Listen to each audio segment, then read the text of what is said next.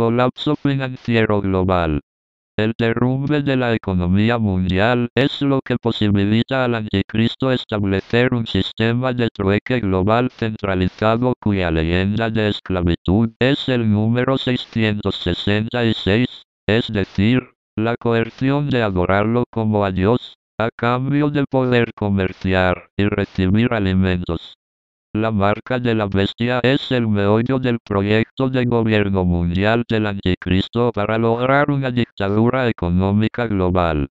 Una sociedad sin circulante monetario, con un sofisticado sistema de trueque biotecnológico que pueda controlar en todo el mundo el privilegio de comprar y vender.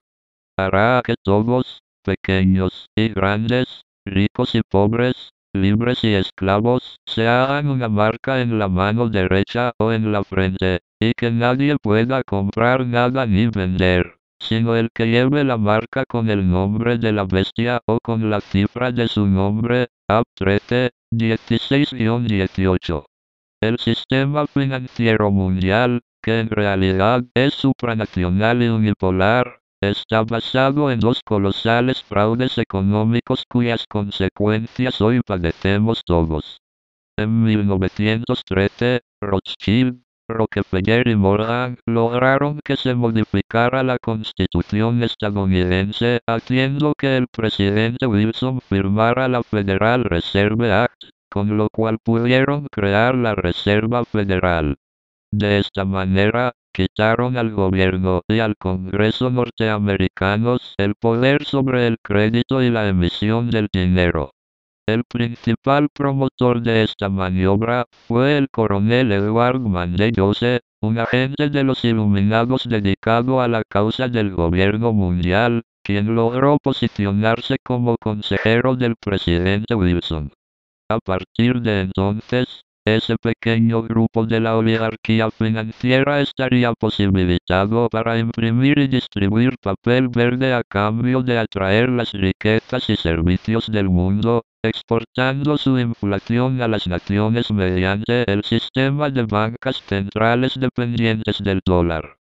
Por ello, el senador norteamericano Charles Lindbergh declaró ante los medios de comunicación con esta ley se ha constituido el consorcio económico más gigantesco de la Tierra.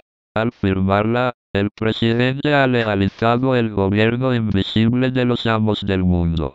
Así fue como unas cuantas dinastías, Kung Loeb, Pierpont Morgan, First National Citibank, etc., adquirieron una influencia arrolladora en el campo económico y político. Incluso el Estado tendría que acudir a ellos cuando necesitara dinero, y además pagaría intereses por él. Este dato es importante, pues la mayor parte de la gente ignora que la Federal Reserve no es un organismo público, sino un ente privado en manos de pocos. R.E. Master así como Eustace Mullins, lograron identificar a los principales dueños de la Reserva Federal. Rothschild Bank, de Londres y Berlín. Lazard Brothers Bank, de París. Israel Moses Safe Bankers Bank, de Italia. Warburg Bank, de Hamburgo y Ámsterdam. Lehman Brothers Bank, de Nueva York. Kung Bank, de Nueva York. Chase Manhattan Bank, de Nueva York, Rockefeller, y Goldman Sachs, de Nueva York. Señala que esos poderosos intereses son propietarios de la Reserva Federal a través de unos 300 accionistas, todos los cuales se conocen y están emparentados entre sí. El segundo fraude sucedió cuando, en 1971, el gobierno de Richard Nixon rompió unilateralmente el compromiso, adoptado en Bretton Woods, de redimir sus billetes verdes con oro, a razón de 35 dólares la onza. Al quitar su respaldo al dólar, se dio curso libre al abuso, las monedas nacionales se convirtieron en mercancía y se multiplicó la especulación y la usurpación de la riqueza real de las naciones.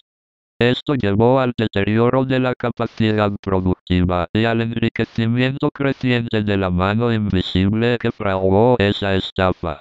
Desde entonces, mientras que las reservas de oro en los bancos centrales crecieron un 12%, los dólares en circulación han aumentado cerca de un 20,000%, acumulando una inmensa montaña de papeles verdes, sin respaldo que actualmente sobrepasan los 6.6 millones de millones de dólares.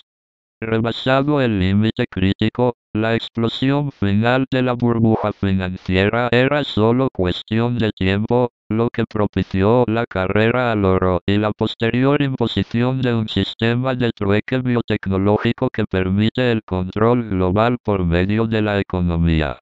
Así, capitalismo y comunismo se funden bajo una dictadura de corte socialista fascista para llevar a cabo el viejo sueño de los Illuminati.